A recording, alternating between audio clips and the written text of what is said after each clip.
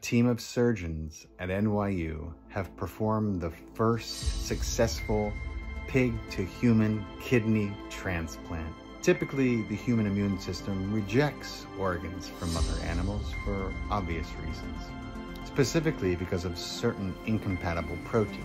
They're genetically engineered so they don't produce the proteins that trigger the human immune response. And more good news, our friends at the FDA have approved the GMO swine, not just for medical transplants, but for human consumption as well. Suddenly, I'm craving carnitas.